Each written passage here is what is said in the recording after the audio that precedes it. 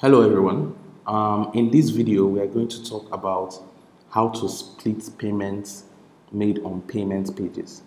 Uh, so in a previous video, we discussed uh, sub-accounts, uh, which is Paystack's way of allowing you to create uh, an account that receives a part of a payment uh, based on your uh, arrangement based on a split arrangement here.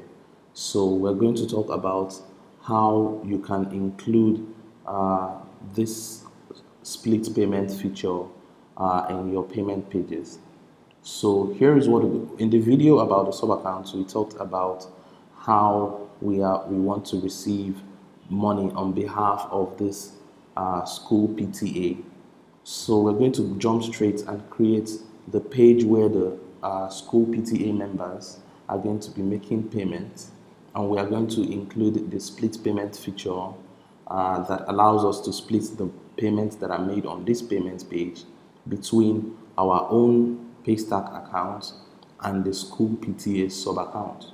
So I'm just going to go ahead and jump right into it. So select uh, one-time payment. If you don't know about split payment uh, payment pages already, please uh, watch the video on payment pages. It's in the description. The link is in the description below. So here we're going to name this school PTA PTA payments. Uh, you can you can describe this or leave it blank. So we want to charge a fixed amount. So the school PTA levy is 5,000 naira, and we want to collect phone numbers and then so we click on this advanced option. Here show advanced option. And scroll all the way down to split payments with a sub account and so we want to select the school PTA's uh, sub account so as you can see the school PTA gets 90% and you get 10% all right so once we are happy with this uh, we can just click on create.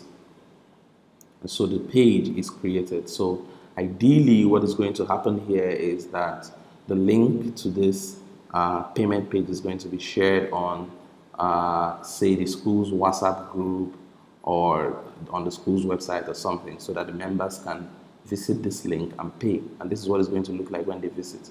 So let's say Mr. Obi wants to pay right now and his email address is mr at obi.com. Uh, and his phone number. Um, great. Uh, so once once they make the payment,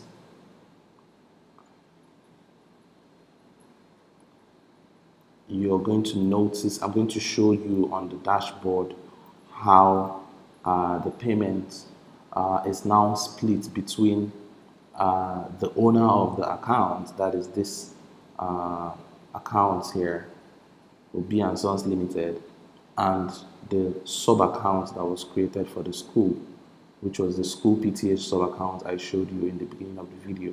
So once we go to transactions here, this is the latest transaction, 5,000 Naira by Mr. Obi.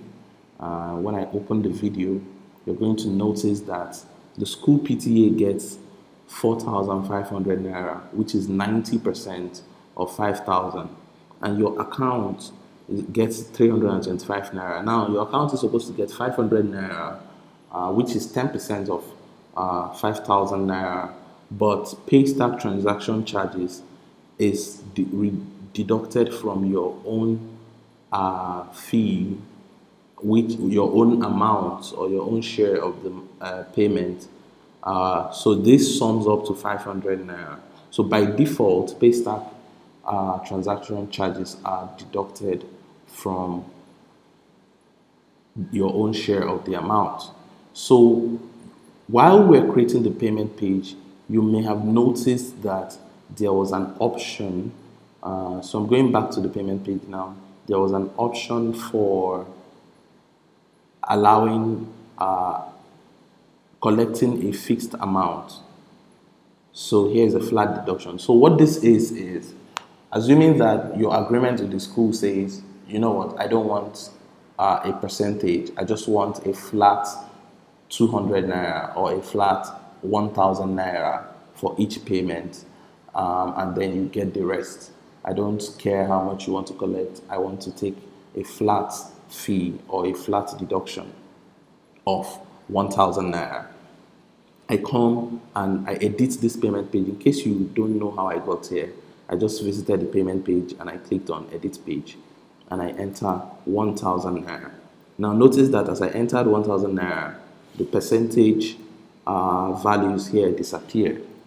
So this means that the 1000 naira deduction overrides the split percentage and then I update. So we're going to attempt to make another payment uh, right now. So here now is um, Adekunle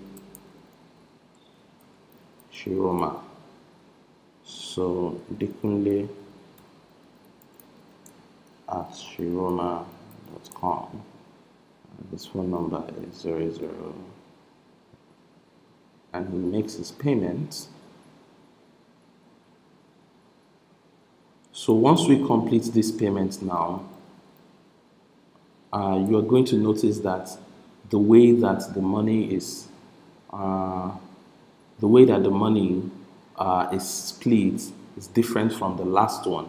So you go to Adekunle Shiroma's payment and you notice that a flat 1000 naira was deducted from the 5000 naira and Paystack transaction charges were subtracted and that leaves your own account, your own Paystack account with 825 naira. So like we mentioned in the sub account video, once Paystack wants to settle the next day, all the monies that accrue for the school PTA is going to be paid directly into the school PTA bank account that we entered when we were creating the sub account, right?